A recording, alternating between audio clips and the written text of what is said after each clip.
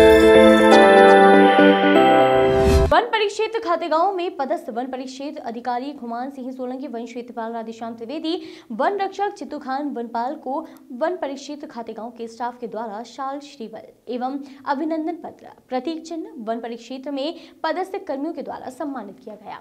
पूर्व पार्षद प्रदीप साहू ने शासकीय सेवा में वर्तमान समय में बिना किसी आरोप प्रत्यारोप के नौकरी कर सेवानिवृत्त होना बहुत बड़ी बात है, विदाई हमेशा दुखद होती है। वन विभाग में तीन लोगों की विदाई समारोह एक साथ आयोजित हो रहे हैं। निश्चित ही आज अपनों से विदा होने का अक्षम मन को खिला देता है। लेकिन हम उनके उज्जवल भविष्य की कामना करते हैं। अतिथियों ने उन्हें स्वस्थ जीवन दीर्घायु की शुभकामनाएँ। कार्यक्रम की अध्यक्षता मध्य प्रदेश कर्मचारी संघ जिला देवास नवनिर्वाचित अध्यक्ष राघवेंद्र तिवारी एवं अजाक्स जिला देवास अध्यक्ष कैलाश मालवी ने की।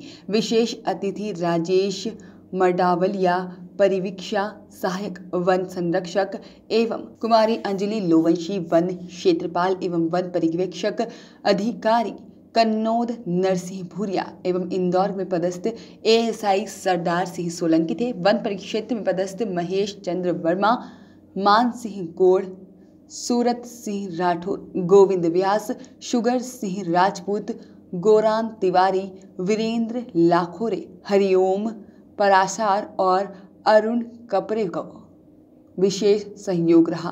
कार्यक्रम का संचालन गजेंद्र मालवीय तेंदुपत्ता प्रबंधक के द्वारा किया गया। आभार, महेश चंद्र वर्मा के द्वारा व्यक्त किया गया। वॉइस ऑफ़ राइट्स के लिए खातेगांव से प्रदीप साहू की रिपोर्ट।